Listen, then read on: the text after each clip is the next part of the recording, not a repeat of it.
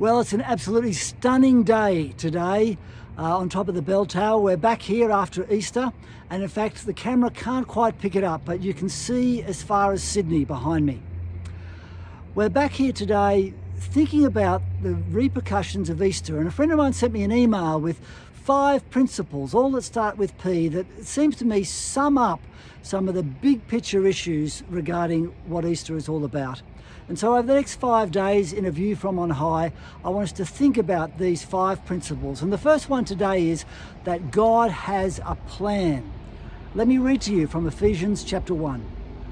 God has made known to us the mystery of his will according to his good pleasure, which he purposed in Christ, to be put into effect when the times will have reached their fulfillment, to bring all things in heaven and on earth together under one head, Jesus Christ.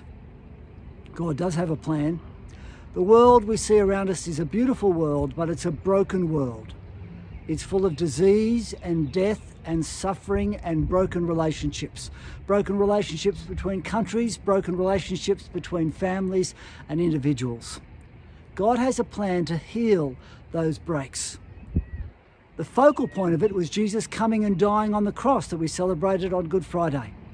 And Easter Sunday, we celebrate the fact that we saw that what Jesus did on Good Friday worked. Jesus is the resurrection and the life, and he will take those who put their trust in him to be with him. So God's plan is to unite all of us under Jesus so that we might dwell with him and be with him forever. Can I encourage you as we reflect on Easter to understand that you can be part of God's plan as well?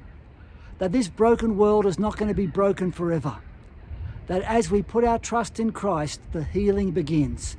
And ultimately, we will see that healing when we dwell with God in heaven forever, when there'll be no more crying or pain or death or disease. God bless you today.